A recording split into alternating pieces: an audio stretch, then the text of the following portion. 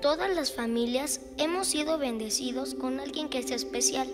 Especial porque tiene limpia y pura su alma. Y es esa alma pura la que los hace personas más sensibles y de nobles sentimientos que nosotros, que nos decimos normales y que la verdad no nos damos cuenta de lo hermosa que es la vida. A ese ser especial que esté en tu casa, acéptalo, quiérelo, protégelo, porque ese ser especial fue enviado para recordarte que se puede ser más feliz cuando tu alma no pierde el niño que todos llevamos por dentro.